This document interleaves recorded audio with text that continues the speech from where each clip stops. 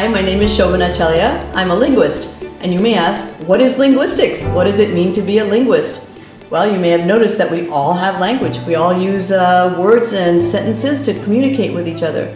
So it seems like just we study walking and breathing and doing other human things, we'd like to know more about language. And it's something that everybody does all over the world. So we're very interested in how human beings use language, how they learn language, and what are all the different types of languages that are out there? How are they similar? How are they different? And so, just from a very curiosity kind of perspective and trying to understand human beings and human behavior, that's what linguists do. They ask those questions about, about language. So that's one thing about telling you what linguistics is. There's another thing about linguistics. There's an applied side to it, and I'm interested in the applied side as well. The applied side says, if we know more about language, what are the good things we can do for society and for each other?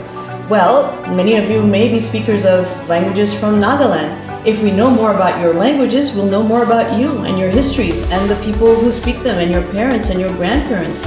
So if you know linguistics, then you can document your language and you can document your culture and you can tell the world about all the great things that are happening here. So as a linguist, I try to do that myself and I do it with the languages that are spoken in Manipur. I know lots of my friends are there and I want to tell their story by telling more about their language and I can do that by recording their language and by archiving and telling everybody where those archived materials are so they can access this, that material on their phone and learn more about those cultures. So I am a specific type of linguist. I'm a documentary linguist, and I create a lasting record of interesting languages around the world.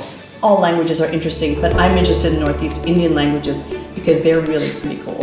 They've got some cool structures in them.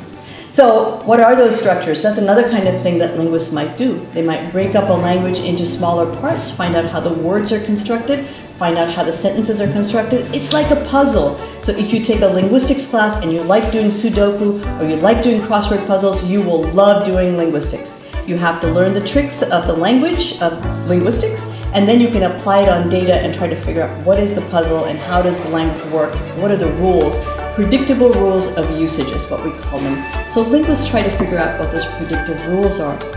And who cares about that? People who work with computers and language care a lot. They want to know what are the predictive things that happen in language because they can use that to then get a machine to translate language very easily.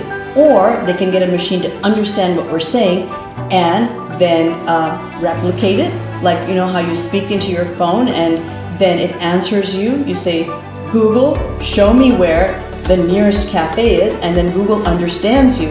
That's because somebody, some great linguist somewhere, taught Google about the words that go into telling that machine what those things mean. So, predictive rules of language are very useful for just the fun of doing puzzles, but there's an application to it as well. So I, probably the final thing that I can talk about then is another reason why predictive rules are easy or useful is because you can then teach people how to speak your language.